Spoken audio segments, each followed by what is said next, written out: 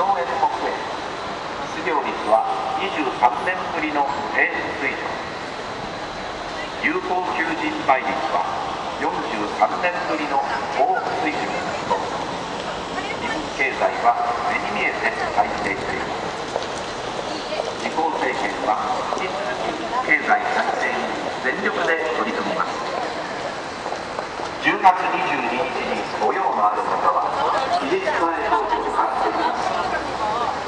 期日前投票は比例区は公明党公明党とお決めください公明党の山口那党です